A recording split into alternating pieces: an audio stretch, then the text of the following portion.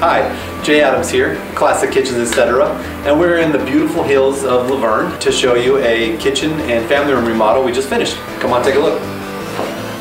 For this kitchen, we did a rectangular island. It's got a closed overhang design with panels that we did um, false door fronts over and then a fluted uh, end cap, which really makes it look very uh, classy and elegant. It seats four and we topped it with a Calcutta quartz. Of course, quartz is, is far superior as far as uh, taking care of it. Uh, maintenance on quartz is a lot lower than, than real marble. Marble can scratch really easy, it's porous. Um, so this is really nice because um, you don't have to seal it, it's not a food source for mold, um, it's really hard to scratch. So it's, it's really nice. We did a espresso um, cabinet on the island as an accent for the white painted cabinetry on the perimeter. So this is all um, painted on the perimeter and then this is a stained espresso stain on the, on the island. I think it all comes together really, really well. Uh, everything that we do is electrolyzed varnish finish, so that means these are all baked on finishes. So the cabinets are really going to last a lot longer because of the process that they use to make the cabinetry. And for this back wall, we did the matching uh, Calcutta look quartz.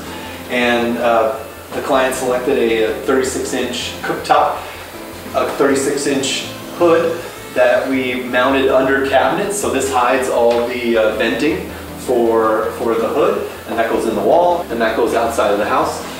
Um, in this area, we did a built-in Thermador uh, microwave and a built-in oven. Uh, we have storage above it. We have a cookie sheet cabinet here, so it's got um, racks so you can put your cookie sheets in there. And then we just did storage here for appliances. This is a freestanding refrigerator, and so we built in, this is for a freestanding unit, so if anything happens, they want to get a new fridge, it'll fit in this existing space uh, really easily.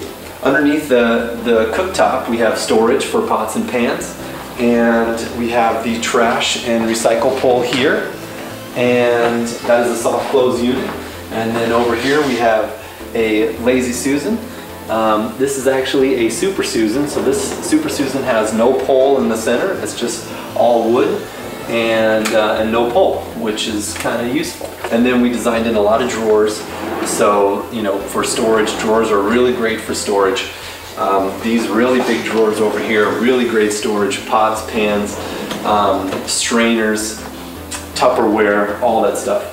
And then in this corner cabinet here, we have another Lazy Susan. This one has a pole, but it's, it's really nice to organize and people use it as spice racks. It's really versatile. Over here we have a display cabinet with leaded glass and we put some glass shelves in there because we did cup lights and so that way the, the light shines through all the glass shelves and illuminates everything that's inside the cabinet.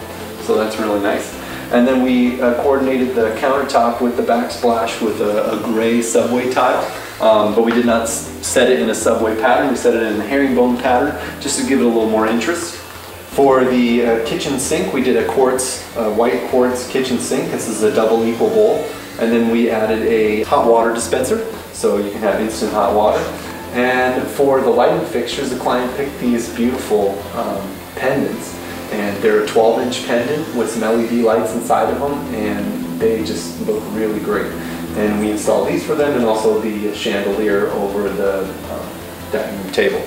This entertainment center was actually a honey oak like the original cabinetry was in the kitchen. We went with a stained espresso to match the island. The island is espresso and the perimeter cabinets are white. So we wanted to match the island and kind of tie the two spaces together. This is in the, um, the great room because it's the kitchen and the family room are together. And we have uh, these espresso um, stain that we did on the existing honey oak cabinetry which turned out fabulous. And then we rebuilt this area to accept uh, a normal, t a new TV, I should say, the new slim TVs, very wide. This was made to accept the old style TVs, the big boxy TVs, so we rebuilt that.